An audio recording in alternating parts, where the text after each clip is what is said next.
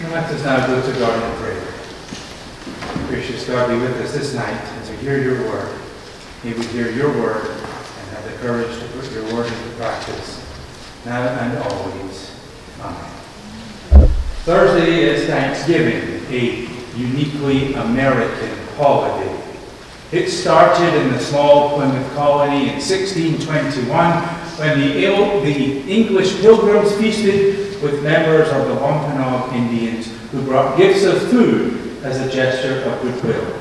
The custom grew in various colonies as a means of celebrating the harvest. 156 years later, in 1777, the Continental Congress proclaimed, proclaimed a national day of thanksgiving after the American victory at the Battle of Saratoga.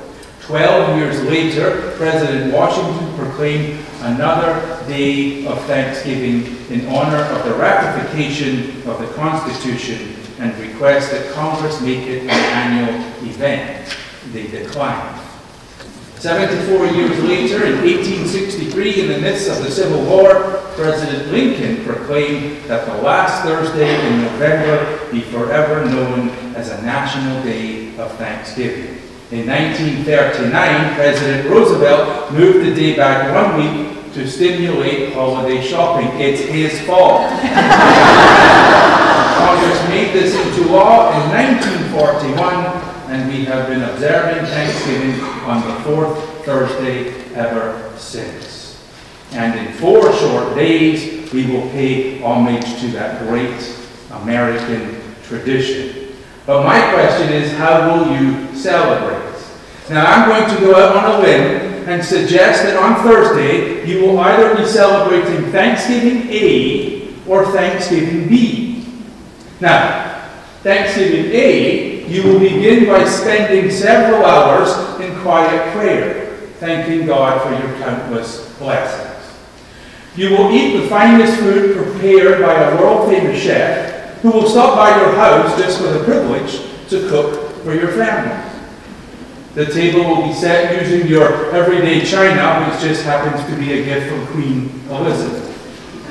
The cutlery, which of course is real silver, will sparkle on the table and will add the perfect complement to the cut glass crystal goblets. After dinner, there will be a fierce competition to see who will be awarded the most prestigious and coveted prize, the honor of doing all the dishes.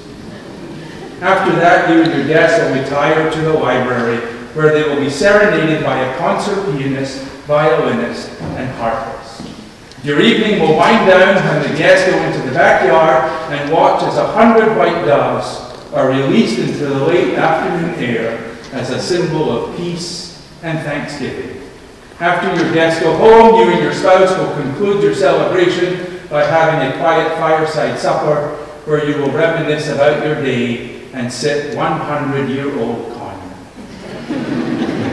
or you'll be celebrating Thanksgiving B a day when family will come over. The house will be filled with screaming children, arguing relatives, and teenagers who don't want to be there, and they'll let you know that by every roll of their eyes. The table will be set with your everyday dishes that will still be piping hot and soaking wet because you forgot to put on the dishwasher the night before. Your dining room table will be adorned with an impressive collection of chairs from every other room in the house. Your glassware will be filled with chocolate milk, orange juice, and Mountain Dew. You will use the beautiful piece set of crystal, the cut crystal goblets, the ones that you got on sale at Macy's, the eight-piece set, which is now a six-piece set, and 20 minutes after grace has been said, it will be a four-piece set. Dinner will include a home-cooked turkey, mashed potatoes smothered in Grandma's secret recipe gravy, yams with the burnt marshmallows on top, and as always at every Thanksgiving feast, the obligatory Presbyterian, Methodist, Bethel Friends, Lutheran, Catholic, and Presbyterian, that one's my favorite, green bean casserole, the box of the cream of mushroom soup, and the crispy fried jammy. After dinner comes the pumpkin pie, a dessert that by federal law must only be consumed on Thanksgiving. You will eat and eat and eat until your waistband cuts off the circulation to your brain. You will rise from the table and walk sideways into the living room, where you will collapse in front of the television and watch football without so much as blinking. Halfway through the first quarter of the first game, you will fall asleep. And you, you will fall asleep from overindulgence and from too much tryptophan in the turkey.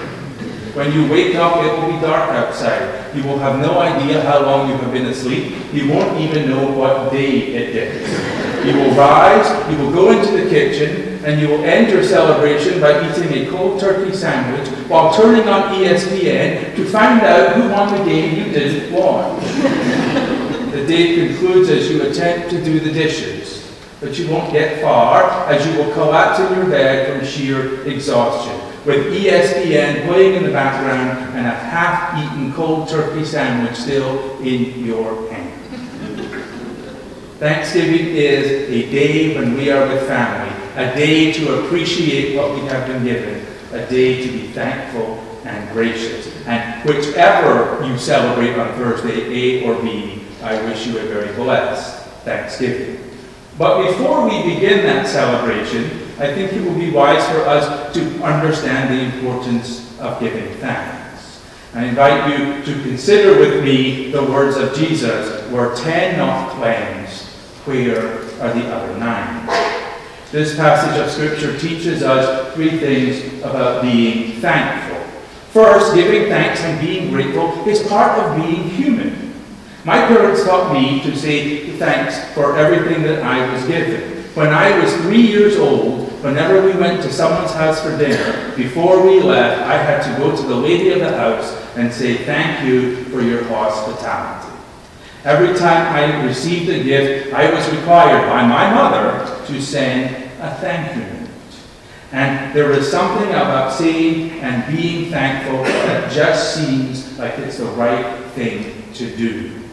And we're not only taught this as children to be thankful, but we have come to expect others to show us gratitude for the things we do. So much so that when we don't receive that thank you, we get all bent out of shape. I did all that for them, and what did I get? Not even so much as a thank you. You know, I sent her a present over a week ago. You think she could take five minutes or ten seconds and send a thank you text. Being grateful is part of our humanity. This scripture demonstrates how necessary a grateful heart can be, not just in our daily living, but in our faith journey as well. Jesus was called out by these men. They asked him for help. This was not a scheduled healing. They were not paying Jesus for services rendered. He did not owe them a favor. He was not forced to do anything for them. He took the time from his day to selflessly and lovingly help those in need. Jesus never put the law above human need, and he lived that every day with a grateful and a loving heart. Now, the second thing we learn about being thankful is that when we show kindness to others, it's contagious. When Jesus was called out to help these men, he went above and beyond what he had planned to do that day he did just take the time from his day to heal a needy soul. Jesus healed ten men all at once. And these weren't just any men, these were lepers. Leprosy was an infectious disease. For this reason, lepers were shut off from all aspects of society. Banished to colonies and valleys and gorges outside of towns, they were kept far away from family and friends. Food was carried and left at a safe distance from the colony. When it was necessary for them to go into town, the leper was required to shout, unclean, unclean. He rang a bell to warn people that he was coming. The alienation and the loneliness were as great a burden as the disease. So Jesus did not merely cure these men of a chronic condition, he restored their dignity and he brought them back into society. These lepers had been denied simple human contact, friendships, relationships, wives, and children, the basic human need for fellowship. So Jesus' heart went out and he healed them. When one of the ten accepted his cure as, as this gracious gift from God, he fell at Jesus' feet and he gave thanks. Jesus showed kindness and he was thankful and grateful that he had given him that kindness. When only one of the ten men came back to say thanks, Jesus said, Where are the other nine? Now, I don't think he was complaining, I think he was teaching. When someone bestows grace and gratitude upon us, their kindness should be contagious. When we receive kindness, we give kindness. When we receive love, we return love. When we forgive, we are forgiven. When someone does something wonderful for us, we say thank you not because it's the right thing to do, because it should make us want to show that same kindness to other people. Saying thank you repeats the kind action shown to that person in the first place. It shows warmth, it shows growth and compassion, and those attributes nurture our ability to love. And that is the final thing for this evening. Being thankful is something that moves us to love, and love calls us to action. If I think of myself and my life, I do not deserve all that God has given to me. The gift of life itself. The wonder of being created in the very image of God. The fact that God sacrificed his only Son so that I who believe in him may not perish, but have eternal life. I do not deserve all those who throughout my life have loved me unconditionally. The wonderful gifts and abilities that God has blessed me with. And I certainly am not worthy of the grace that my God gives to me time and time again. But if I know anything, I know this. I don't deserve a single one of those things. I haven't earned them. I am not entitled to them. But I am thankful that God loves me that much. I am glad that being thankful is contagious. And I am thrilled that being thankful can move me to love. And that moves me to action. It is one thing to be thankful to God for all we have, but it is, but it is how we respond to that love that makes the difference. The demands and commands of Christ call us to be loving, forgiving, compassionate, thankful people. So we live our lives as people of action. Listen to words that Jesus says throughout Scripture. Do unto others. Go and make disciples. Ask, and it shall be given to you. Seek, and you shall find. Knock, and it shall be opened unto you. Everything calls us to action. Now, there's a story about a man who went to Africa to see what people and volunteers were doing to help the suffering people in Africa. I got this story off the internet. It has to be true. in one place I read that he was he was conversing with his sister in, a nun. In another story I heard of was Mother Teresa. I, I don't have the exact quote, but I didn't make this up, so here we go. So he is in Africa and he is watching a a nun, a sister of God, and he's watching this person try to offer comfort and clean the wounds of a person who is suffering. And cleaning the wounds with no medical supplies, cleaning the wounds of a person, wounds that would make an experienced surgeon sick to the stomach. And this man who was observing looked at the sister and said, Sister, I wouldn't do what you're doing for a million dollars. And she said, Neither would I. Our love of God calls us to action. We are on the verge of being thankful people and celebrating that holiday. Now, there is a poem called True Inner Strength, and it speaks to how we live our lives and how we can be gracious, thankful people. And I'll do my, it's an anonymous poem, but I will do my best to do it justice because I didn't bring my papers out from the pulpit. but it is entitled to inner strength.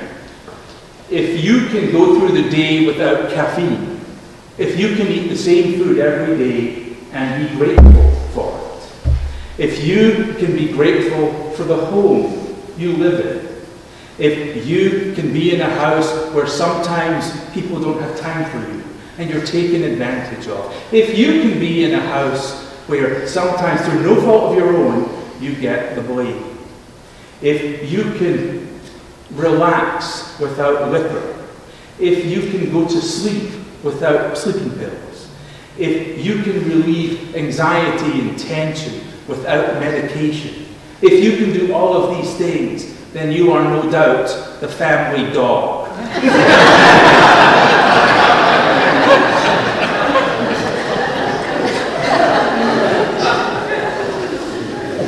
we don't have to think very far for us to realize just how grateful and thankful we are.